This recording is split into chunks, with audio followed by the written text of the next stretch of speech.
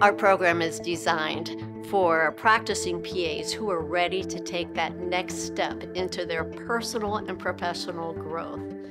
We are looking for students who are looking forward to improving positive patient outcomes that are willing to bring their passions and their expertise to the classroom. The DMS program offers two concentrations, a health professions administration concentration, which is designed to provide the student with further knowledge on business planning, operations, finance, health information technology, as well as a health professions education concentration, which is designed for that student that maybe wants to go into teaching. So courses there are focused on learning theory, curricular theory, program evaluation, and online teaching and learning. This is an exciting time for our profession. We are moving forward in many ways, and the Doctor of Medical Science program is one avenue to do this.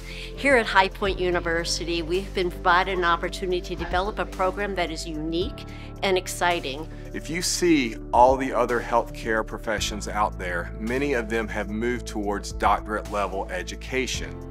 So our program helps to fulfill this need within the PA profession by allowing us to also have this credential that will allow them to be competitive in the healthcare setting. PAs by nature are focused on high quality care.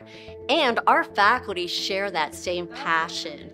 We have developed a curriculum in which our faculty are prepared to provide educational experiences in leadership, in evidence based medicine, research, and skills.